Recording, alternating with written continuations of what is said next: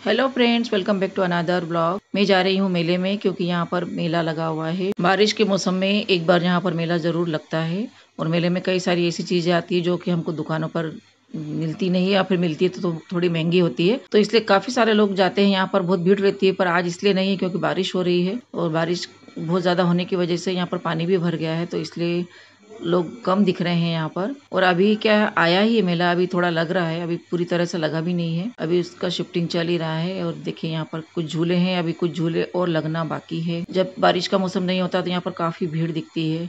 ये प्लास्टिक के सामान की दुकान है, यहाँ पर पूरा प्लास्टिक का किचन का सारा सामान मिल जाएगा आपको। देखने में अच्छा लगता है, मैं तो बस वैसे ही देखने के लिए चली आई थी कि चलो कुछ लेना नहीं भी होगा तो देख कर कर तो आते हैं। छोटी मोटी चीज़ें तो मैंने भी ली यहाँ से। और आपको और बताती हूँ मैं आगे कि यहाँ पर टी शर्ट के लोअर हैं और कपड़ों की दुकानें ज़्यादा लग रही थी। घड़ी चश्मा तो है ही है पार्स है और कुछ दवाइयों की भी जड़ी बूटियों की दुकानें भी लगती है मेले में। बहुत सारी चीज़ें यहाँ पर मेरे को, मुझे देखने को मिली मेले में। वैसे शहर के लोग तो कम, जहाँ पर आसपास के गाँवों से काफ़ी लोग आते हैं, उनके लिए ये मेला बहुत अच्छा है क्योंकि उनको सब चीज़ें सस्ती मिल जाती है और अच्छा सामान मिल जाता है। तो अब मैं अपने वीडियो को यहीं पर ख़त्म कर रही हूँ। आपको मेरा वीडियो अच्छा लगा हो तो वीडियो को लाइक, शेयर और कमेंट करें। चैनल को सब्सक्राइब करें। मैं आपसे फिर मिलूँगी बहुत जल्द। तब तक के लिए बाय।